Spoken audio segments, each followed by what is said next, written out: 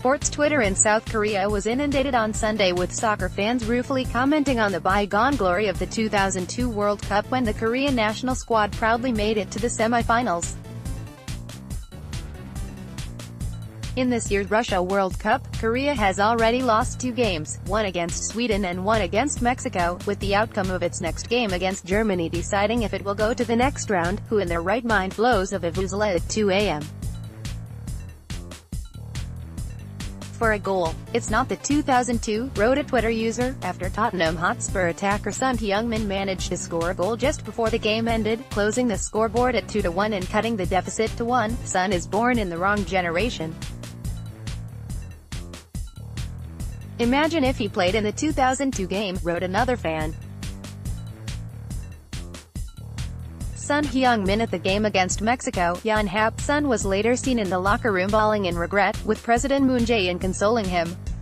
Moon visited the stadium to support the national team on the sidelines of his state visit to Russia for a talk with President Vladimir Putin on North Korea's denuclearization and economic cooperation.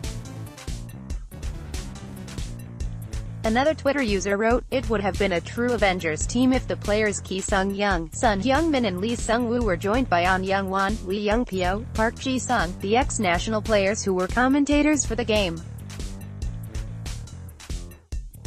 and Cha Du-ri, retired player who was watching as a spectator, Lee Chun-soo, who is babysitting at home, and Park Chu-young who could well score a goal one against four, a rather pessimist Twitter user wrote 2002 was a miracle.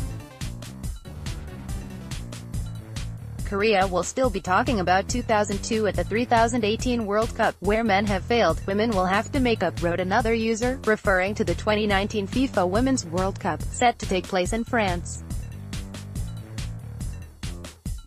The women's team for Korea won every game it played in the preliminaries, allowing only one goal to North Korea. This is the third time for the women's Korea team to play in the World Cup. The first was in 2003 in US and the second in 2015 in Canada.